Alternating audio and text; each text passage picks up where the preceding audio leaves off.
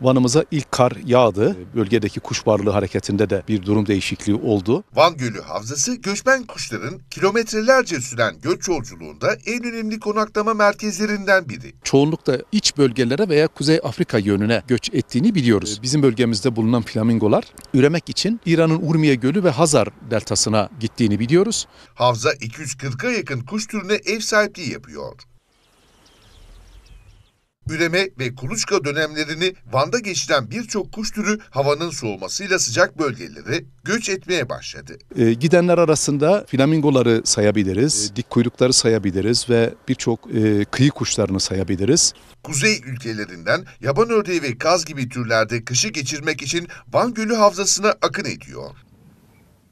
Kuşların göçü kuş gözlemcileri tarafından kayıt altına alınıyor.